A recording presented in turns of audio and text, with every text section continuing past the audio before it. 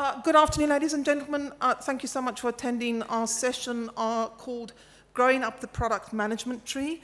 My name is Debbie Wren. I'm an agile coach with JP Morgan.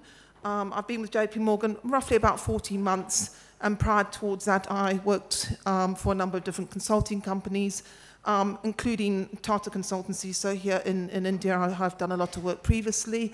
Um, and today we're going to talk about growing up the product management tree. Uh, but I'd like to introduce my colleague here. Hey, I'm Asheesh Mehdiratta. I'm also the Agile coach here in JP Morgan. Uh, been here with the firm for almost a year and a half now.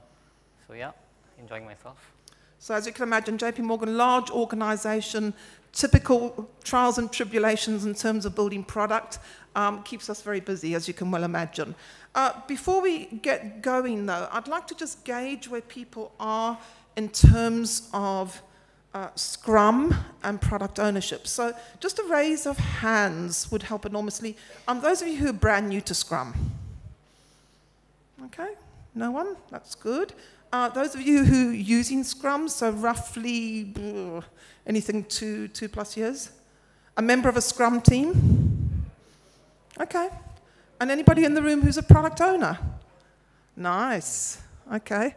All right. So we're going to talk a lot about product ownership today and certainly pull on uh, Asheesh and my collective experiences in our journey to date with the transformation efforts at JP Morgan, but also to pull from our collective previous experiences in other organizations to show you how product development has changed over the years and some of the challenges that we've faced and some of the things we've put in place to try and counteract the issues that we, we, we uh, come across.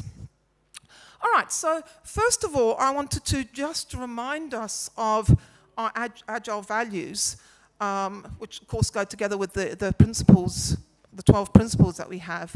And really, as we look at product ownership and have a look at how it's grown up over the years, the past decade, um, we've pretty much moved away from, or are trying to move away from, a distinct area in an organization who remains totally detached from where the value is created, i.e. in our, our development um, technology groups.